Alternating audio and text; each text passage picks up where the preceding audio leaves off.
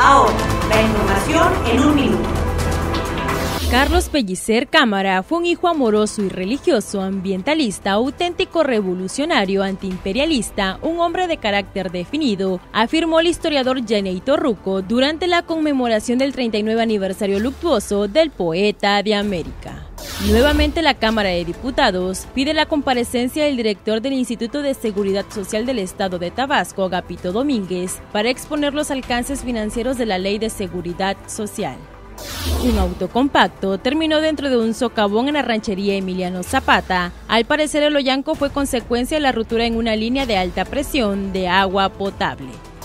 Exigen transportistas de la cooperativa Soluciones para Tabasco al Congreso la regularización de sus unidades por parte de la Secretaría de Comunicaciones y Transportes, además la regulación de la invasión de otras unidades a sus rutas.